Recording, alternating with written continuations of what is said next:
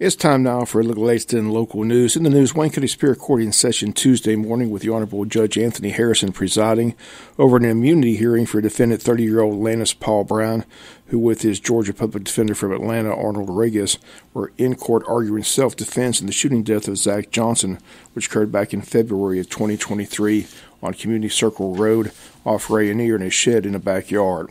Brown has been charged with malice and felony murder, aggravated assault, possession of a firearm during the commission of a crime, voluntary manslaughter, and possession of a firearm during the commission of a felony.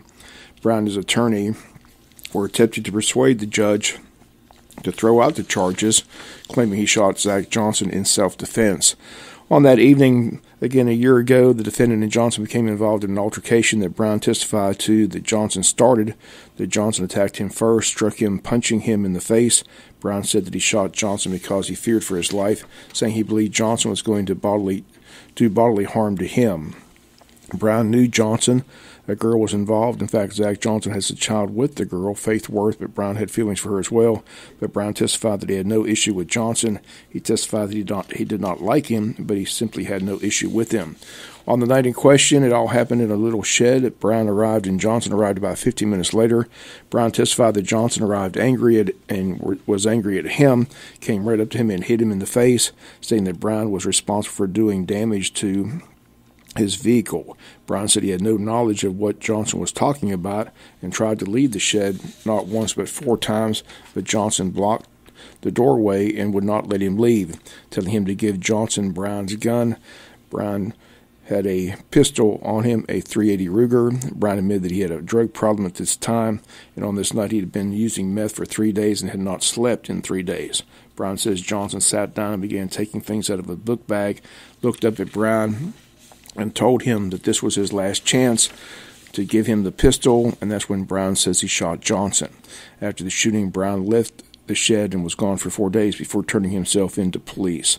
Under cross examination, Assistant DA Elizabeth Presley asked Brown about statements that he made after his arrest to both law enforcement and to a female friend this was a phone call that Brown made from the Pierce County Jail, in which the assistant DA read from the call in which Brown described the night of the shooting, telling the girl on the phone, quote, I was calm, but I really messed this up, end quote.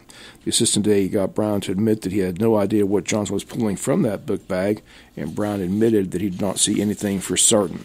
The assistant DA told Brown while he was on the witness stand, quote, In 20 minutes you smoked meth and killed a man, end quote. Brown answered that he simply defended himself, saying he felt that he was in danger by the way Johnson attacked him, would not let him leave, was demanding he wanted his pistol, and then told him that this was his last chance to give him the pistol. There were several other people in the shed that evening, one a friend of Lannis Brown named Kristen Forchette, but she admitted on the stand that she also had a serious drug problem in fact, she testified that since this has happened, she's overdosed nine times. But she did testify that it was Zach Johnson who was the aggressor and hit Lannis Brown. Brown testified that he always has his pistol with him and that it was a gift from his mother. He said he was not giving up his pistol to anyone. He testified that he didn't see anyone at the shed coming to his defense, telling Johnson to stop harassing him. So he didn't understand why no one told Johnson to simply stop and let him leave. Brown said he hit him and refused to let him leave. And he tried four times to leave the shed. He said he sits down and starts taking things out of a book bag and looks at Brown and says, This is your last chance to give me your gun. And Brown says he feared for his life, so he shot him in what he described as self defense. Judge Anthony Harrison listened to all the evidence on Tuesday presented in court, but in the end he denied the motion for immunity from prosecution and says this case will move forward to trial. WIFO will continue to follow the story as it develops. Brown has been in jail since his arrest last February when he turned himself in to law enforcement authorities.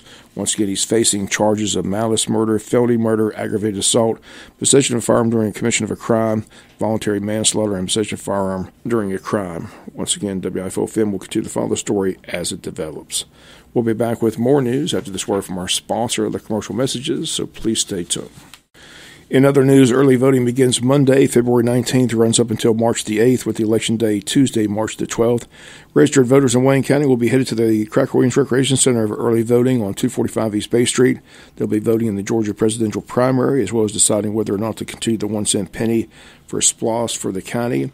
That's a simple yes or no vote. For more information on the SPLOST 5 referendum, simply go to the county's webpage, waynecountygeorgia.us. Early voting Monday through Friday from 8 a.m. to 5 p.m. Two Saturdays of early voting, that time from 9 to 5. Those two Saturday dates are February 24th and March the 2nd. We encourage all registered voters to get out and vote. Once again, it all begins this coming Monday, February 19th. Once again, early voting at the Cracker Williams Rec Center, 245 East Bay Street in Jesup. Tomorrow, the Wayne County Chamber of Commerce hosting their annual State of Education event scheduled from 11 to 1 tomorrow at Coastal Pines Technical College. The lunch is involved. On the program will be Wayne County School Superintendent Dr. Sean Kelly, President of Coastal Pines Technical College Mr. Lonnie Roberts, Sherry Bowen from Wayne Christian Academy, and Elizabeth Williams with Coastal Plains High School. Again, all this taking place tomorrow at Coastal Pines Technical College from 11 to 1. If you need more information, simply contact the Chamber of Commerce today. Their number 912 427 2028. Don't forget the community-wide blood drive set for Monday at Calvary Baptist Church Gymnasium with time from 1 to 6. To schedule an appointment, they say go to the redcrossblood.org website, enter Jesup to schedule an appointment. Once again, this is taking place this coming Monday, sponsored by the Jesup Shriners Ladies Auxiliary, location Calvary Baptist Church Gymnasium, 415 East Cherry Street in Jesup. We'll be back with some final news notes after this word from our sponsor, the commercial messages, so please stay tuned. Final notes in the news the Wayne County Board of Education met yesterday afternoon. Personnel always part of the agenda. The personnel approved by the Board of Education after the executive session certified a recommendation. Bethany Bayard, Martha Rawls Smith Elementary.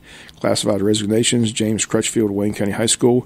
Rachel Crutchfield, Jesup Elementary. Lisa Forrest, Central Office, retiring. Sarah Gilden, Martha Rawls Smith Elementary. Gladwin Harper, Martha Rawls Smith Elementary Principal. Melanie Jones, Wayne County High School, retiring. Sharon McBee, retiring from the central office.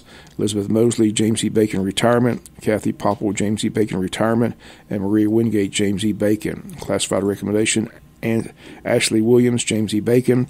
Classified resignation, Shanley Lane, Martha Puckett Middle School, and Tynika Smith, Arthur Williams Middle School. One classified termination, Roland Hopkins, Martha Rawls Smith Elementary. Also in Wayne County, it's an election year, and qualifying to run for many offices begins Monday, March the 4th, and runs through that week to March the 8th. On the ballot will be offices of sheriff, clerk of court, probate judge, state court judge, a couple county commission districts on the ballot, along with two school board positions. Again, the qualifying gets underway March 4th through the 8th. WIFO FM will be following the qualifying period closely. Again, Sheriff Chuck Mosley seeking re-election, but reports are this will be a contested race once again. Once again, qualifying less than 30 days, March 4th through the 8th. Qualifying will begin, and listed candidates will be announced. And again, we'll keep you posted on who all qualifies here on the local news. Finally, don't forget the Hog Jam this weekend, February 16th through the 18th. Wayne County Board of Tourism's annual Hog Jam. Statewide hunt begins this Friday at 2 p.m ends on Sunday, February 18th at 12 noon. Registration and all the rules are on the Wayne County Board of Tourism's website. And the Wayne County Tourism's Hog Jam set for February 16th to the 18th, headquarters at the J.C. Fair Building. That'll do it for latest in local news. Sports comes your way in a few minutes. Bob Morgan, have a great day.